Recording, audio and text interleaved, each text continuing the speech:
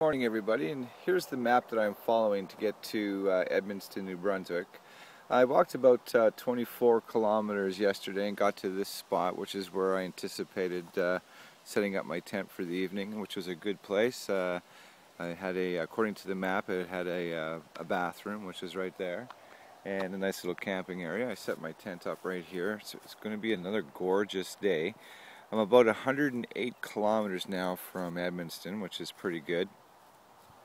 Uh, I got about 24, 23 or 24 kilometers to walk today to get to the next spot where I want to be. So I'm uh, right on schedule here. I'm doing pretty good. There's nothing open at this time of year, unfortunately, but I'm okay. I got enough food to last a week out here.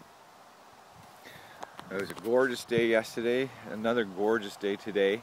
Uh, definitely the bugs are here, but uh, the bug spray seems to be working pretty good. Uh, this wind keeps keeps them at bay during the day, but uh, camping at night and in the morning, I tell you, if you don't have bug spray out here, you're going to get eaten alive. But uh, other than that, it's just a beautiful, maintained trail, well signed.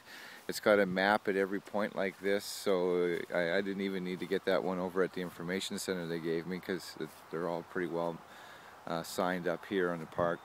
It's just a gorgeous part of uh, Quebec. I'm just, this is getting pretty close to New Brunswick now, so uh, Quebec has been an amazing experience so far.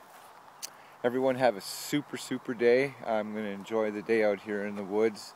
Uh, I like the fact too as well that the uh, the trail goes through the trees, so I get a lot of shade during the day, so uh, uh, I can rest in a lot of nice shaded areas. Uh, man, it's a perfect time of year to go through. The weather's great.